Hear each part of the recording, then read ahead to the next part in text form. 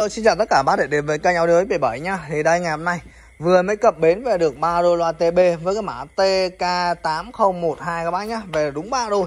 À, dòng loa sử dụng dòng loa với nước sơn màu màu gỗ luôn các bác nhá. Sơn vân gỗ luôn nhá, gỗ bạch dương luôn, rất là thơm luôn. Đấy, một dòng loa mà với những cái dòng loa mà đặc biệt là con này nó để sử dụng quả bát neo Đấy, nhưng mà trước khi vào cái nội thất thì em sẽ cho tất cả bác xem qua cái ngoại thất của dòng loa này trước. Xong em sẽ cho các bác xem thêm được cái độ đẹp của cái cái cái bát và cái tép của dòng loa này luôn các bác nhé. À, dòng loa này được thiết kế dòng loa thùng cân các bác này. À, dòng loa thùng cân ốc mọi thứ là ốc hoa thị hết các bác nhé. Ốc hoa thị trên này có dập số luôn tất cả đều nguyên zin cho tất cả bác luôn. Về các bác được vẫn được đặc quyền các bác vẫn được kiểm tra tháo ra kiểm tra check test thoải mái phát hiện hàng lỗi hàng gióng hàng làm lại hàng uốn khói các bác trả lại hàng như em nhận lại tiền. Nhận lại 100 lần tiền luôn giúp em. Ok chưa đây thông số của em ở đây. Xong em sẽ cho tất cả bác xem vào cái nội thất phía bên trong.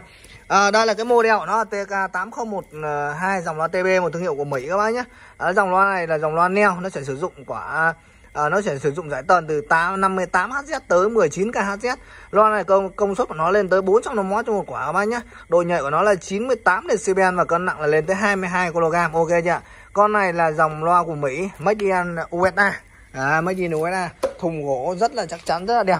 Và đặc biệt là cho những bác nào mà ví dụ như mà trang trí vào nhà mình với những cái kệ gỗ. Đấy, với những kệ gỗ thì để đôi loa này lên là quá hợp lý luôn. Đấy, mặt phía trước này các bác nhá. E căng này đây các đặc trưng của TB này, TB Pro Audio. Đẹp chưa? Đấy, màng ngăn bụi cho các bác luôn nhé màng ngăn bụi luôn ok chưa siêu đẹp luôn. Và mức giá em đang bán cho cái dòng loa này là 12 triệu cho một đôi loa này.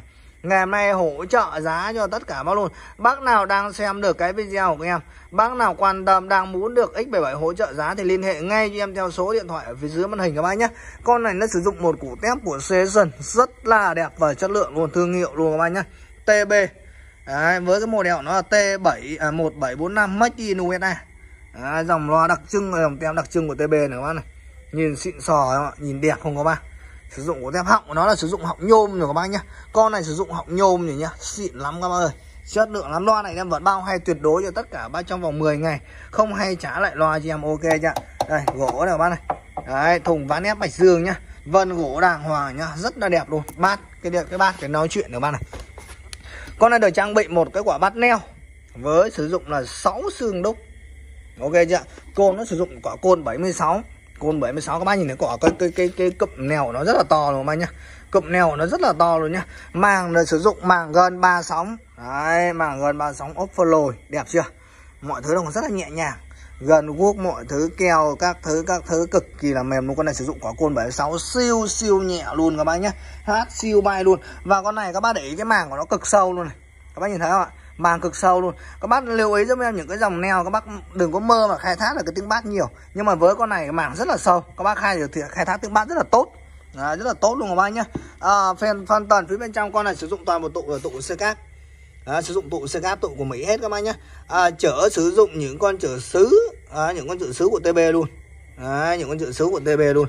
Cuộn cán này lúc nào với đặc trưng của dòng TB lúc nào cuộn cán cũng đỏ lửa. Nhìn rất là đẹp. À, rất là đẹp. Bông tưa màu đen các bác nhá bông tưa màu đen thùng vách này. À, với cái dòng gỗ bạch dương như thế này con này không biết nó làm cái gì mà thơm lắm các bác ạ. Loa thơm lắm luôn. Ngồi đây mày nó thật sự các bác là nó thơm thơm một cách rất là dễ chịu luôn một đôi loa đang bán cho bác một mức giá cực kỳ là hợp lý luôn. Bác nào đang quan tâm nếu thích thì liên hệ luôn với bảy theo số điện thoại về dưới màn hình các bác nhé. À, với đôi loa mà với những cái dòng từ thường thì trên thị trường họ bán cho các bác đâu đó tầm khoảng 10 triệu rưỡi tới 11 triệu cho một đôi. Ngày hôm nay bác chơi cho em một đôi loa từ neo luôn đẳng cấp luôn, xịn sò luôn với một mức giá cực kỳ là hấp dẫn luôn các bác nhé. Bác nào đang quan tâm liên hệ với bảy các bác nhé. Cảm ơn tất cả bác rất là nhiều. Nếu bác thấy video hay mình nghĩa trong xin một like, một đăng ký kênh để mà những động lực ra những cái dòng sản phẩm tiếp theo phục vụ cho tất cả bác. Cảm ơn tất cả bác rất nhiều ạ. Xin chào tất cả các bác.